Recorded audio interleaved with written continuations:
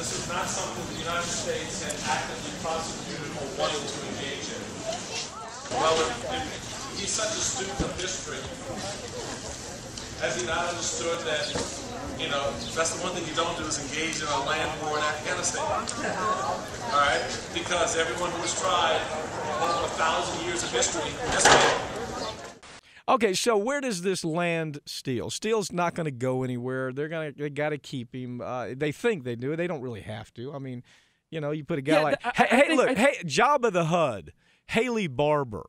That, Yeah. That's the guy who really is the new Republican Party. I mean, you know, he the teabaggers love him. He talks like a teabagger. You know, he he he he comes out with stupid statements that seem to attract that Southern Republican conservative. I I mean, he's the perfect choice. Isn't that who would replace? Uh, isn't that who would- would replace Steele? Well, Haley, Haley Barbour is definitely one of the top ones. I actually saw some of the people they're talking about replacing Steele is actually Sarah Palin, which would be Boy, that'd be awesome. perfect. Yeah, we'd Yeah. love that too. Well, okay, so so let me let me ask you the um, as this thing goes forward, what do you think the Democrats should do with it? What I think Democrats should, I mean, honestly, I don't think the Democrats should do much other than maybe mock it. I mean, because here's the truth: is the truth is the line of attack of saying that uh, that questioning war is unpatriotic. It's just stupid and wrong. Considering the fact there was a recent poll pap that found 66% of Democrats say the benefits of war in Afghanistan is not worth the cost. Yeah. It's also dumb considering, look at this two thirds of the Democrats in the House of Representatives, they voted for a timeline for withdrawal from Afghanistan. I mean, does the DNC really think the majority of Democrats are betting against the troops? That two thirds of the House of them, uh, the House want to cut and run. Yeah. It's it's it's it's disgusting, Pap, and and it, it's it's really it's a bad, faulty. It also doesn't work. It didn't work for Republicans when they were doing it against us. It's not going to work for us. Well, I mean, look, them. here's the truth. Democrat under this leadership, unfortunately, is they're trying to morph into Republicans, and they they don't get they don't understand.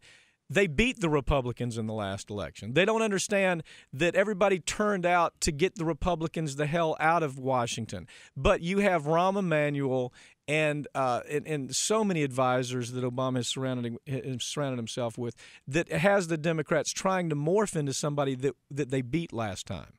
Right. Well, that's what's crazy though too, Pep, is like maybe this actually maybe gets a little more. Uh, what's as Democrats, I kind of think we've kind of let the ball drop on as opposed on like the Afghan war and the Iraq, what's left of the Iraq war. There's actually uh, uh recently Michael Isikoff of Newsweek had an interview with uh, the director of national counterterrorism, uh, Michael Leiter. Isikoff asked, since uh, it was recently announced that in the last 18 months.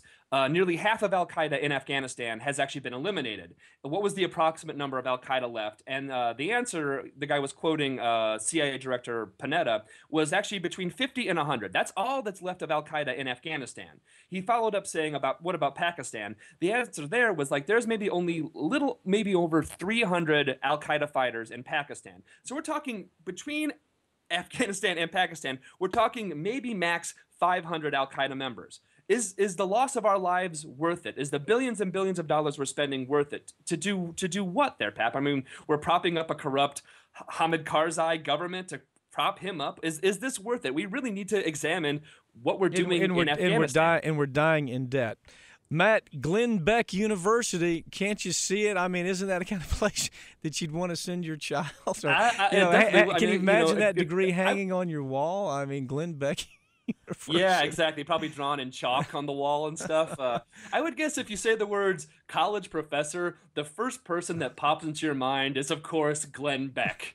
and listeners, listeners, Ring of Fire this- listeners, if you wanted to study under the master, wait no more. Glenn Beck has started Glenn Beck University. Is this real? It is an online school. Uh, it's not accredited. I suppose that goes without saying.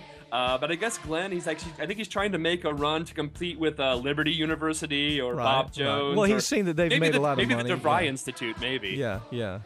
The, the idea is that he's going to do what? He's going to be the professor, or what? What is? What's he going to do? gonna be he's gonna be one of the professors. Now here's according to Glenn's website. This is the quote uh, announcing Glenn Beck University. It says Beck University is quote a unique academic experience, bringing together experts in the field of religion, American history, and economics. Through captivating lectures and interactive online discussions, these experts will explore the concepts of faith, hope, and charity, and show you how they influence America's past, her present, and most importantly, her future. Okay, so here, here's what I'm not clear about. Okay, it's it's it's unaccredited, right? Right. It's really not a. It's, it's not a university, really, of course not. Uh, I, am but- trying to think some of the courses. It might but- be something like I don't know, uh, chalkboards 101, maybe uh, method crying, how to make yourself weep on cue. Uh, one of them on his, the history uh, course is actually called the Declaration of Jesus: Why We Are a Christian Nation. Uh, they also have the uh, the history of communist, socialist, Marxist fascism. Who are the? T- I mean, there are people. I mean, is he attracting professors to this? I mean, are people saying, "Yeah, I want to be part"? I mean, it would it would be like somebody. It would end their career. Uh, somebody tr- says, "Look, I want to be a professor at the Glenn Beck University." Right. Well, right, one so- of the quote, one of the, there's there's there's three quote professors here, Pap. Uh, one is one that takes the cake here. The the the worst of the worst is this guy named David Barton.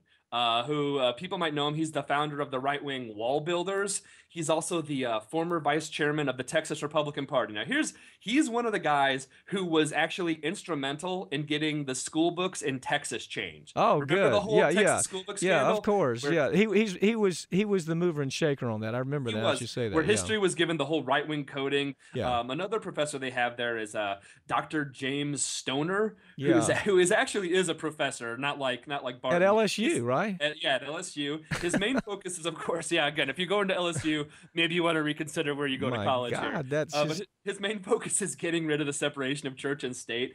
To, to him, the whole this is actually a quote from him too. The whole his whole the prohibition against laws respecting the establishment of religion was just to ensure, quote, that the federal government would not prefer one Christian denomination to another. So uh, it's, the man's out of his mind. Well, first of Uh, all, is he really a professor at at Louisiana State University? yeah, he is. He is actually a professor. He's And, and they they certainly must know that he's agreeing to do this. I mean, you know, James R. Stoner Jr. from LSU just goes off on his own and uh, and says, I'm going to be a professor." At, at University. and yeah, and, and the yeah, rest of the faculty says, "Yeah, that's a good idea." Yeah, yeah. He, I, I think I think he's also taking. He's going to be teaching the course that's actually how not to tease the Would panther. somebody? Would if listen? You're listening to this. Email me if you know the facts on this. I can't honestly. I cannot believe that you would have an LSU political science professor saying, "Yeah, I think the, he's delighted to accept the job at, as being a professor at Glenn." I mean, the rest of the faculty has to say, "What?"